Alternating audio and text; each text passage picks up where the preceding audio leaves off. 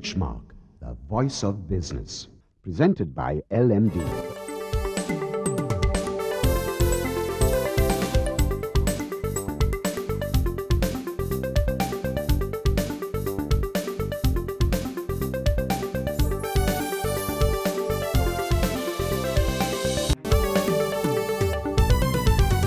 On this edition of Benchmark, Kshanika Ratnayaka, Director and Chief Executive Officer of Great Place to Work Institute, is in the studio today to provide her insights on a range of issues relating to the HR sector in Sri Lanka. The LMD Nielsen Business Confidence Index slumped by 13 basis points in August. Nielsen's Managing Director Sharang Pant discusses the reasons for the downturn. And in our final segment, Mihirani Disanaika, the country manager of Kantar TNS, analyzes the results of their survey on the real estate market in Colombo. That's the lineup for Benchmark. Hello and welcome to the Big Picture Business Program Benchmark. I'm Savitri Rodrigo. Today we are focusing on human resources and we've invited the Chief Executive Officer of the Great Places to Work Institute, Kshanika Ratnayaka, to provide her insights on issues relating to HR uh, and also people in Sri Lanka in the HR sector. Thank you so much for being with us. Thank you, Savitri, for having me here. Now, what is your broad take on the current, uh, current status of the Sri Lankan workforce? Okay, so that's quite a loaded question, but uh, I'll try to answer it in, in, in multiple forms. Some of it will be backed by some data, but others will be a more generalistic approach to the market. Um, so this is known to be what we call a talent economy, right, this current era. And uh, we in Sri Lanka know that our human capital is our most valuable resource. Um, unfortunately, however, we have a short supply uh, of good talent, right. There is talent in all forms, but uh, good talent is hard to come by and so therefore, there is, seems to be a constant war or haggling in the corporate sector for this limited uh, resources or the limited good talent. Mm. This ends up in uh, typically they are being uh, awakened, uh, some positions open for a long, a long time or you are unable to actually fulfill those roles or sometimes expats being brought in to some of these key roles. Uh, and on the other side, we also see that um, uh, organizations or corporates pay uh, crazy uh, salaries uh, or remuneration packages in order to fill those roles. On the other hand, for the lower end of the spectrum, we find that there is a severe shortage of talent. Right here, we are talking about skilled or trained talent. Um, and then corporates are slow to pick up uh, that group of people. And as a result um, you know we have uh, even though the unemployment rate is only 4.4 percent uh, according to the census and uh, statistics department we have the youth uh, unemployment at about 18.8 uh, percent. Because even the people coming out of schools and the graduates from the university program are not really ready uh, for the workforce, right? So, they are not work ready is what we call them. So, lots of organizations end up having to uh, spend a lot of time and money in uh, providing that basic amount of uh, skills that are ready to make them uh, re required to make them job ready. Just getting to this youth mm. unemployment mm. 18 plus percent. Um, Kshanika, we have been talking about this unemployability mm. of young people mm. coming out of university or even schools. Sure for decades. Yes. But somehow nothing seems to I don't know. yes. It doesn't seem to be addressed. Yes. So I think um, that has a lot to do with uh, our education system. I mean, I think that also is a known factor, starting with the way uh, we study or we learn uh, from our, our, secondary education, uh, where it's a case of learning the textbook uh, and studying for exams. It's a case of passing exams as opposed to gaining knowledge um, through broader learning, through research or through doing projects or other aspects of learning. Um, then we go to the university system, which is limited to a very few um, because uh, we, we don't have the capacity to take on more. And that is more of the same, right? So kids come out, we have brilliant uh, students coming out in terms of uh, intellectual capability, uh, but they do not have any um, ability to uh, connect with the work environment uh, day one they don't have the required soft skills right. So, you get uh, for example, in our environment we look for people with, from the sciences with uh, statistics and physical sciences, uh, but they don't they are not able to take that, that basic education and they don't have the required uh, communication skills, the ability to take on their analysis capability, uh, to communicate how you would present those results to people. So that is a big problem for the work environment. So I think it has to change really at uh, at the training level, secondary and tertiary levels as well. Tell me, it's the private sector Mhm. that needs these employable young people. So why aren't they taking the initiative? Actually, it's, it, we, we cannot limit it to the private sector. Yes, I, th- I think the public sector needs them as well. Uh, however, it's, a- it's a private sector that is looking for more of these employable uh, people because uh, the rest get put into the public sector anyway. Uh, also, those coming out of uh, the local university system by default look for employment in the public sector because one they think it's easy to compete they get in based on their results and uh, how they have uh, graduated or what uh, uh, education qualifications they have achieved and not necessarily are they tested for the soft skills or have to prove themselves in those spaces. So the private sector is doing a lot right? But uh, it comes at a cost and it doesn't happen fast enough. That conversion uh, doesn't happen fast enough i believe for them to be able to show results or the productivity and efficiency they require from uh, this force uh, 18% or the 10% whatever is joining the private sector uh, from those who are coming out of our local uh, schools and uh, universities uh, they struggle even after a degree to be able to compete with those kids who have been uh, managing both professional education and work simultaneously Uh, Kshanika, uh, what young people, current day young people, look for when they're seeking employment? Uh, first and foremost, they look for the big brands, right? The, the companies that have the big brand names, whether it's the Dialogues or the Levers or the Brandixes of the world, right? Because um, they believe uh, quite correctly that it is good on their CVs, right? So it is not a case of building a career, but what will look good for me in my next job. Uh, the second aspect is salary. And this, I think, our private sector is partly to blame for because we go directly to campus uh, to hire the best of graduates or directly to schools and institutes. And um, so they position their brand there and then they give them a package uh, which sometimes only the bigger companies can kind of uh, uh, offer to start with. And uh, these individuals, the, the brighter or the more qualified or the more suited employees get picked up uh, even before they graduate, which is a system in, in more developed economies as well. Um, uh, but as a result, they start uh, looking for that uh, as, as by default, as opposed to maybe uh, things that we profess like culture and uh, whether there's a good working environment, whether there's an opportunity to grow in career, whether this is an innovative uh, um, environment, whether you can have an entrepreneur streak here, what are the other aspects that you might want to develop in the individual. So irrespective of what your background is or what you might be wanting to do or study, you will look for that package as we call it, you know, the high pay and title, amazingly title, right? Some of these kids come out of college and want, uh, they look to see how quickly or whether I can start day one in a manager with a manager title, right? They have no clue about even managing themselves, leave alone managing other people or projects. What practices should organizations have in, in situ to retain that talent? the first thing is attracting right talent because becomes important because in that whole attraction process they have to um, look for more than just skill right yes we talked all this uh, while about whether we have the required skill um, but uh, when it comes to retaining it becomes important to also have looked for what we call fit good fit right? Otherwise, it becomes a case of I take you, I train you, I spend the money, I invest in you. Two years down the line, you're gone, right? Now, I know that is more what happens with uh, Gen Y uh, in this day and age, but nevertheless, uh, the organization makes an investment and they have to start seeing a return on that investment, not in just hiring the best skills, but what they might put uh, to bring on the skills required for them to do their job in that particular environment.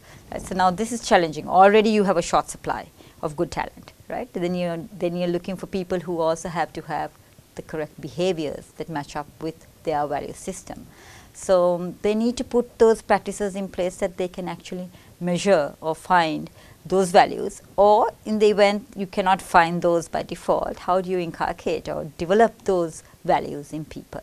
So this is where HR really has a key role because uh, they can do a lot by defining good practices in the organization um, so that uh, values get converted to, we say it is important to have a, a good EVP or an employer value proposition in order to attract that talent. And then uh, you build those behaviors around the people, so you invest in training people through uh, good practices uh, to ensure that they live those values, their behavior uh, is uh, mold into that of that organization. What exactly, very briefly, is the role that a people manager plays in the organization?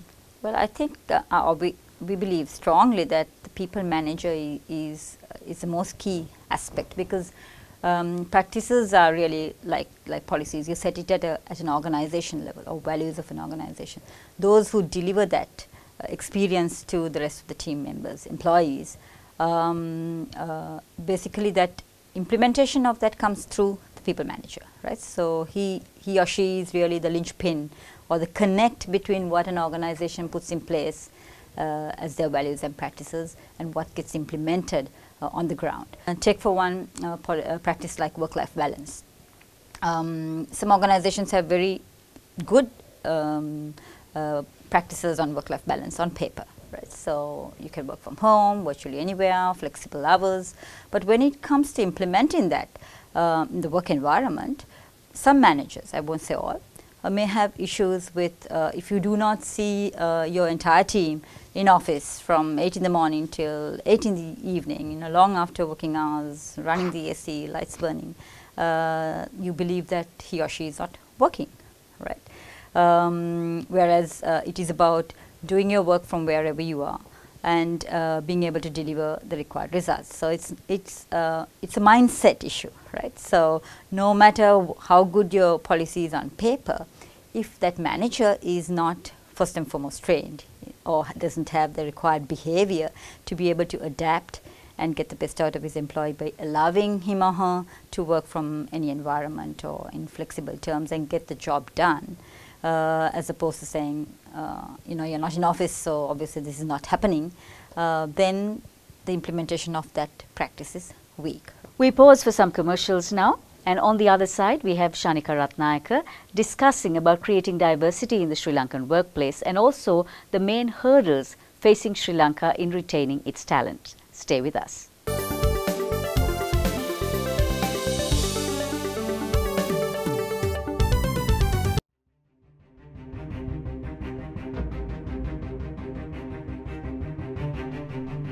When we entered the industry in 1995, a new star was born as a fully owned subsidiary of People's Bank. For those seeking to grow their businesses, PLC provided the seed.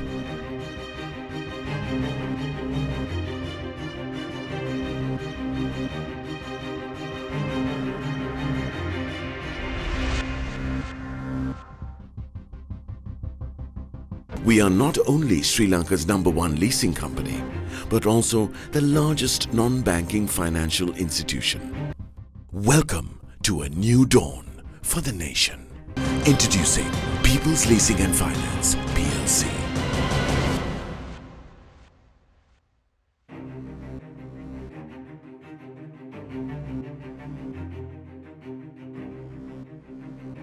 LMD is making waves, airwaves.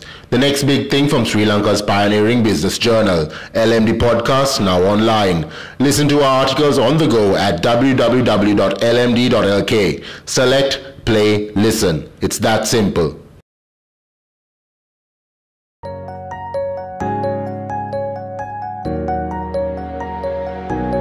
We understand that savings provide for life's special moments. That's why we were the first bank to introduce an incentivized savings scheme, Pathum Vimana. We changed how a nation felt about savings because we believe in banking beyond transactions. HNB, your partner in progress. Thank you for staying with Benchmark. Let's return to the Chief Executive Officer of the Great Place to Work Institute, Kshanika Ratnayaka. We are discussing human resources. And I'd like to begin, Kshanika, this second segment asking you creating diversity in the workplace is almost a business imperative. That culture of inclusion is um, definitely a dynamic that drives business. But how are organizations actually practicing this and how best do you achieve this objective? Yes, uh, you're quite right, Savidya. Uh, first, I think what organizations need to do is invest in building an inclusive culture itself, right? So that is not uh, a given uh, day one. Um, uh, the world is changing and, and what we uh, mean by inclusive is also quite different, right? So it is not just about gender diversity, it is about um, several other factors including race, religion, sexual orientation, uh, multiple uh, aspects, the way people work, uh, what they bring to the organization. Um, so lots of um, different aspects need to be looked at. People also talk about differently abled, um, how do they get included in that workforce? Do organizations have policies and practices to include them? And these are some things that we measure as well. So, uh, in general I think um, what needs to be done or what organizations are doing at the moment is uh, gender wise I think uh, I mean we all know there is the gender divide, but more and more uh, women at least in the corporate sector uh, are, are, are, are, working and, and organizations uh, do have the practices to encourage people women to work um, in all, all kinds of all forms of jobs. However, um, I think what we need to encourage is um, methods to bring women back after maternity, uh, give them things like flexi hours or other aspects uh, to allow them to come back to work after um, uh, taking some time off due to childcare or marriage or certain instances like that. Because uh, we find that a lot of them are losing out on the abundance of qualified women who have already been in the workforce maybe after university or as school leavers once they are professionally qualified. Uh, due to marriage or child rearing they have uh, given up uh, working, but are available to work uh, if the organizations can find ways of uh, including them in their workforce. So, here what we say is make, make the culture as inclusive as possible on all fronts, right? Not just uh, gender, because when we talk of inclusiveness, everybody says, okay, we have put in place, you know, all of these facilities to make it possible for women to work. Whether it's late hours, they will have things like transport facilities. Uh, people will have uh, early shifts for women to uh, work and make it possible for um, that aspect. But uh, I think we need to take it a step further as well. For example, uh, you need to have environments in which possibly um, they can nurse or they can uh, take time off for the need uh, need to nurse or, or to be able to bring in a child to the work environment. Uh, some organizations provide uh, creches or other facilities for child caring or we have to have a support system whereby um, parent, women are able to keep their children in childcare facilities uh, while they are able to pursue their, their careers. Um, on the front of other um, areas of inclusiveness, for example, we, are talking about uh, disabled or differently able people. Uh, most organizations don't even have disabled access, right? Uh, if you walk into an environment, uh, you have to use stairs or lifts, so how do you get into these premises if you are disabled? Um, if you look at canteens or washrooms, uh, they don't have disabled access. So then you cannot just have it in your policy manual or your practices that you know we uh, are an equal employer. Uh, equal employer really has to live its true um, meaning uh, by saying you're equal for all types and all abilities and disabilities as the case may be, if you want to benefit from those situations. And there are lots of disabled people who can contribute. When you look at Sri Lanka, mm -hmm. we've been experiencing brain drain and this goes even for the young people. Uh, what can Sri Lanka do to retain its HR talent? We can uh, keep good talent if we are able uh, to compensate them based on how they are performing and uh, providing, you know, doing performance review and uh, inc increments and, and um, promotions to um, make sure that they are actually embracing a performance based culture right? Because key talent goes when they are not recognized uh, or they don't they don't see the opportunity to grow within that organization because you know uh, they haven't got the seniority in the organization or anyway everybody is getting a 10% increment in the organization. It doesn't matter that I brought in 80% of the profit. The 80-20 rule might apply right? So if it if you're driving a performance based culture you are able to actually keep your key talent pay them well incentivize them right and uh, basically recognize these special people um, in a way that they will actually stay in country and not not have to go out looking for that recognition or that capacity to earn uh, what their talent might be uh, able to get in in a foreign country. So I, lots of people I talk to as to why they actually migrate or go for jobs abroad. Um, the belief is that uh, in Sri Lanka, however much you own, you really cannot own an asset, right? For young people who are starting off in their 20s and 30s, you know, they want to own their house, they want to own their car, not just a corporate car or, you know, a rented house. And it is difficult on the salaries that they earn. You know, you did touch earlier on work-life balance, but let me ask you something. In this day and age of technology, where you're contactable anytime, anywhere, no matter where in the world you are, can you really infuse that concept of work-life balance? Yeah, so actually it works both ways, right? Um, in the sense, as you said, you know, you're never really off duty, right? You can be contacted, you're connected, uh, there's really no downtime, whether it's your personal time or whatever. Uh, but on the other hand, the benefit is that you can actually opt to take um, 9 to 10 uh, at the gym, right? Uh, when technically in, in, the good old days that would have been prime working time. I'm, I'm, talking about 9 to 10 in the morning. But you may actually be on call on a virtual, you know, on a conference call with uh, the US uh, from 9 to 10 in the night, which normally would have been your personal time, right? So what it gives us is the ability to be um, flexible about how we use that day. It doesn't necessarily mean while yes you are contactable 24, 24 hours you need to be on call 24 hours. They want to be able to be at work or doing what they have to do uh, when they want to do it but still get the job done. And therein lies uh, the answer i think as the important thing is to ensure that the job is getting done. The objectives are met. You're delivering on what you have been asked to put in uh, not how much about how that is getting done or when that is getting done, but within that time frame that is allocated, um, it is about what is getting done, the quality of your work, the nature of your work. What are your projections for the future of HR? Uh, HR uh, here still has a long way to go.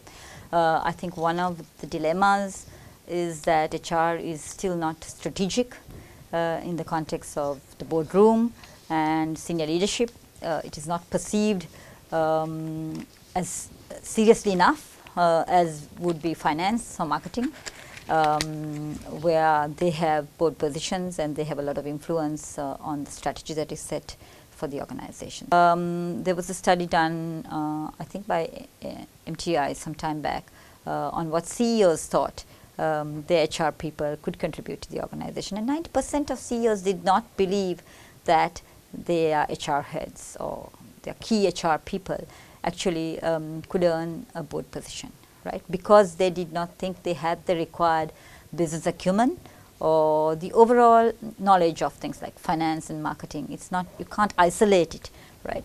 Uh, that was required to drive the goals and objectives and the strategy of the organization. Similarly, uh, the same study told us that 40 percent of people in HR themselves believed that uh, they would not make it to the boardroom because of this perceived notion, uh, negative uh, notion that uh, they were not good enough or they were not doing enough. Right. So here, I think really, I mean, you have both situations. Um, what do we need to do to correct that? Because um, if human resource is our most important asset, then it is key that HR starts to be strategic right? It has to be strategic human resource management as opposed to personnel management, which most often is what is happening in organizations. There's payroll, there's personnel files, there's uh, issues being resolved, um, you know, appointment letters being given, exit interviews being done, hiring being done. That is all rather archaic, right? So we need to start driving it at a strategic level and how uh, they need to do that is by adding value or showing how what they do or the work that they do really adds value to the business, right? Then CEOs and organizations and stakeholders start to take HR seriously. Lots of food for thought there for HR people, I believe, and also maybe the organizations in general. Sure. Thank you very much, Kshanika, for chatting with us today. We've been discussing HR with Kshanika Ratnayaka, the Chief Executive Officer of the Great Place to Work Institute. We'll be back with more, and Anushan Selvaraja is on the other side.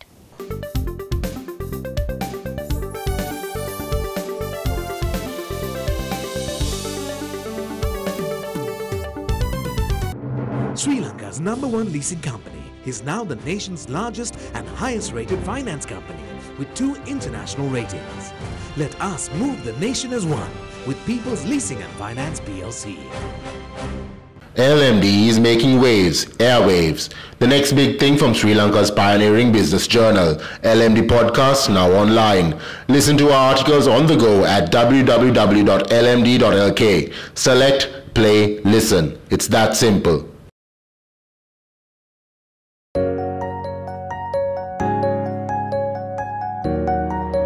Nearly 60% of all businesses in our country are SMEs. Some of our most growth oriented financial solutions have been customized to serve this sector.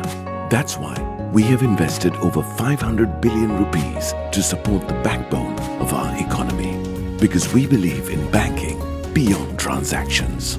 HNB, your partner in progress. Welcome back the show. I'm Anushan Selvaraja. Now for a close look at the latest on the Business Confidence Index. Joining me is the Managing Director of Nielsen, Sharang Pant. Welcome back to the show, Sharang. Now, the BCI, it's been a bit volatile as of late now. Uh, what are the reasons behind this? Uh, in the last four months, we've seen big fluctuations. It moved from 115 to 134, came down to 122. Now, despite the fact that inflation is stabilizing, taxes on a few uh, items are being reduced, we see this fluctuation. And we feel this is more of a knee-jerk reaction to the communication uh, or the corruption issues that are propping up. Uh, so it's, it's more an impulsive reaction rather than any reaction to long-term trends is what we feel. So what is the pulse of the business community when it comes to our economy? Now this number has come down significantly in the last two or three months. It stood at 1 and 4 or around 28% in the month of July. In the month of August this was around 20%. The government came up with its Vision 2025 document. It talks about where it wants to see Sri Lanka in the next 8 to 10 years. There are certain policies being announced, but we feel the business community or the consumers want to see some immediate action on the ground, which is why we see these sentiments moving up and down significantly. Now, Sharang, only a few people have been positive about our investment climate. Now, to your understanding, what could be the reasons behind this? If I talk about what's driving this, uh, so despite again taxes, inflation being stable, the performance of businesses has not been all that good. FMCG is struggling. We know that the growth, or rather the decline, is uh, there of about 2% quarter on quarter. Tourism is struggling. So, though the overall growth in uh, arrivals in the first seven months is about 4%, if we look at four months out of these seven, there has been a decline compared to last year. Uh, same is the case with remittance. Now, remittance forms a big way of uh, discretionary income or disposable income for Sri Lankan households. The overall remittance in the first five months of 2017 dropped by 7%, impacting the ability of certain households, specific households, to consume a few things, and that's reflected in the consumption growth as well. Having said that, there are still some positive signs when it comes to exports exports have gone up by 5%, but exports in apparels have in fact declined by 5%. What it basically means is that the impact that GSP Plus was expected to have that has not yet set in. Could you shed some light on the issues that we need to watch out for for the BCI going forward? So uh, one is obviously how certain policies are being formulated by the government in the upcoming uh, uh, budget for 2018, which is coming up in the next two months or so. Uh, the positive news is uh, Vision 2025 has been taken to various stakeholders, both government and private stakeholders. There are being uh, there are interactions being organized for the private uh, sector to give its comments, give its inputs, which will hopefully be incorporated into the budget. Uh, so that needs to be watched out how the budget framework comes up in the next two months, which will shape the way BCI or even consumer confidence will move. At the same time, there are other aspects which I've spoken about in the past as well. Uh, policy on higher education, whether it's medical or technical, that needs to be clarified. There are investment proposals waiting in those sectors and the investors are holding back to see what happens on these aspects. Uh, the businesses are holding back on investing in workforce because they are yet to see the GSP plus driven orders to come in and once that comes in the efficiencies need to be brought in and the workforce might increase. So uh, apart from inflation taxes these are the other things that will be watched out for in the next few months. Thank you for joining us Sharan. thank you. That was the managing director of Nielsen Sharan Pant. We'll be right back after a short commercial break. Stay tuned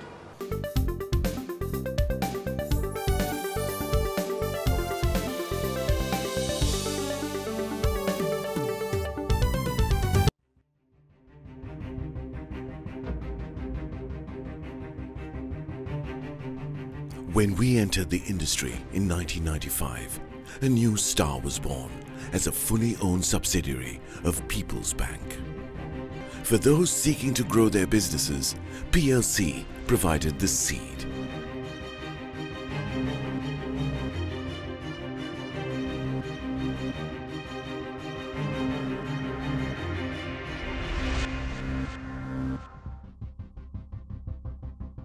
We are not only Sri Lanka's number one leasing company, but also the largest non-banking financial institution. Welcome to a new dawn for the nation. Introducing People's Leasing and Finance, PLC.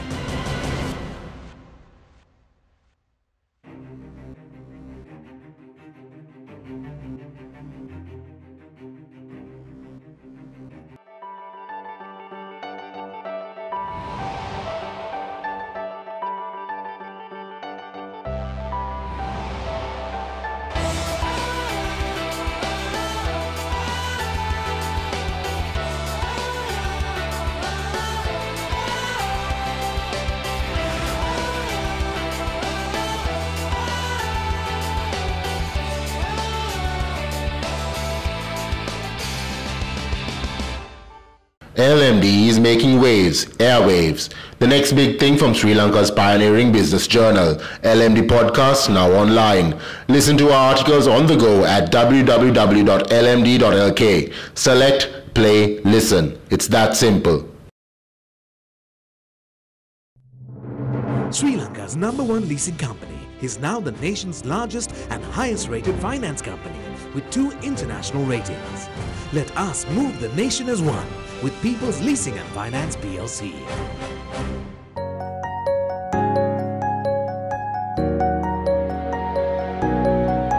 Gami Pubuduwa, our microfinance offering, makes it possible for the youth of this country who have a viable business plan but lack the funds to realize their dreams. We are committed to grassroots level entrepreneur development because we believe in banking beyond transactions.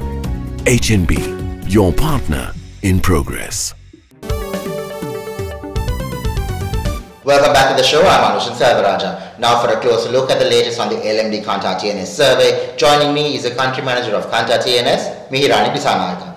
Welcome back to the show, Mihirani. As usual, now just give us a brief overview of the survey. Okay, Anushan. The topic this month uh, that we have chosen for the survey is about the real estate, uh, how it is developing in the country, and how people in the country see the development of the sector. So, how do respondents view our real estate sector? Uh, it's interesting to see 7 out of 10 people see the sector is booming and uh, growth is really aggressive and uh, to the level uh, in which the sector is not able to uh, meet the demand. Uh, this is that kind of a perception the people have about real estate uh, sector growth.